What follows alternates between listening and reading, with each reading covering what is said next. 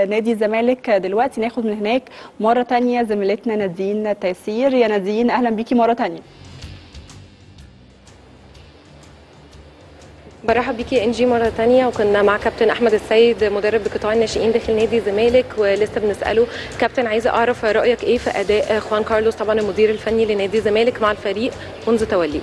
لا طبعا هو مدرب كبير آه، واضح طبعا إنه له بصمة في التكتيك بتاع اللعيبة وفي أفكار اللعيبة. عنده أفكار طبعا هو بيحاول ينفذها. آه، وده طبعا بان في المباريات السابقة اللي لعبها النادي. كان في تطور في الأداء كبير جدا. أو مش كبير جدا يعني خلينا نقول لحد آه، يعني يعني في تطور باين في الفرقة. فإن شاء الله إن الفترة الجاية يبقى في تطور أكبر ويبقى في فهم من اللعيبة بالنسبة للكيمستري بتاعت المدرب أكتر ويبقى في انسجام أكتر بين اللعيبة وإن هو يقدر يعمل التوليفه اللي اللي هو هيقدر يكمل بيها الموسم الجاي إن شاء الله. طبعا سواء هيضيف عليهم لعيبة جديدة بالنسبة للموسم الجديد أو في لعيبة هتخرج من الفريق. وإن شاء الله هنشوف يعني هيكون إيه اللي هيحصل الموسم الجاي بإذن الله.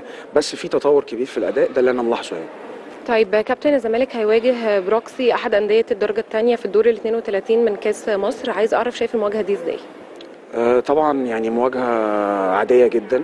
نادي الزمالك بيلعب فريق آه، صاعد من الدرجة الثالثه أو الدرجة الثانية طبعا فريق عنده طموح آه، كبير عايز يحققه قدام فريق كبير زي نادي الزمالك في مباراة زي مباراة الكاس.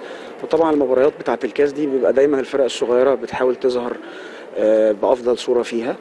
آه، لأن دي بتبقى طبعا ال- البطولات اللي هم بيشاركوا فيها على مستوى محلي أكبر والناس بتشوفهم أكتر. فبالتالي كل لعيب طبعا بيبقى عايز ينزل يبذل أقصى مجهود عنده. آه، بحيث إن أندية كبيرة تشوفه وبحيث إن هو ينتقل لأي نادي أكبر.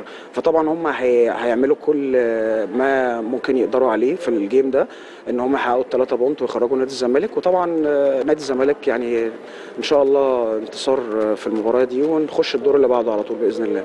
إن شاء الله. طيب كابتن شايف إيه المطلوب من فريق نادي الزمالك واللعيبة خلال الفترة المقبلة؟ مطلوب التركيز طبعا. ومطلوب إن أنا أفصل تماما عن أي مهاترات آه، خارجية آه، زي آه، مثلا مباراة السوبر أو زي اللي بيحصل من من الاتحاد الكره المصري أو الحاجات اللي بتحصل دي فأتمنى إن هم يبعدوا تماما عن أي أفكار خارجية وإن هم يركزوا مع الفريق ومع المدرب ومع أفكار المدرب بحيث إن إحنا نقدر نشوف الفترة الجاية انتصارات ولان نادي الزمالك وجمهور نادي الزمالك محتاج جدا الفترة الجاية بطولات ومحتاج طبعا انتصارات مستمرة يعني. طيب كابتن شايف إزاي الجهاز الفني يستغل فترة الراحة ال- الحالية اللي موجودة للفريق؟ طبعا أهم حاجة طبعا في الفترة دي إن يبقى في recovery على المستوى البدني وطبعا لازم نستغل الفترة دي في وجود recovery نفسي مهم جدا جدا جدا للاعبين. محتاج إن أنا أهل اللاعبين نفسيا آه، للموسم الجديد من دلوقتي. آه، طبعا آه، خاصة إن أنا عندي برضو بطولة مهمة لسه ما خلصتش اللي هي الكاس. فمحتاج إن أنا أدخل المباريات بتاعة الكاس وأنا جاهز آه، على جميع النواحي يعني سواء نفسيا أو آه، آه، بدنيا أو فنيا. أنا بشكرك جدا يا كابتن أحمد لوجودك معانا في نهارك أبيض النهارده. شكرا. شكرا يا نادين. شكرا. شكرا. زميلتي العزيزة إنجي ده كان لقائنا من داخل نادي الزمالك مع كابتن أحمد مس... أحمد السيد مدير القطاع الفني. وطبعا هذا كان كل ما لدي من لقاء اليوم والان العودة ليكي مرة أخرى في الاستوديو. بشكرك شكرا جزيلا. طبعا زميلتي العزيزة نادين تيسير بشكر كمان كابتن أحمد السيد طبعا آه، أحد المدربين بقطاع الناشئين.